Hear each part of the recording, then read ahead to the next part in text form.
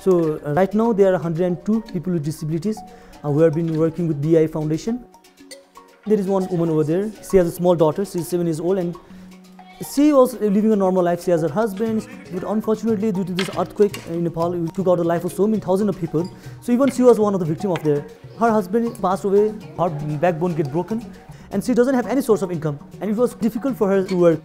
We asked her to join BIA tailoring. She's getting some salary from it, and with that salary, she's running his family. She's teaching her daughter and all these things.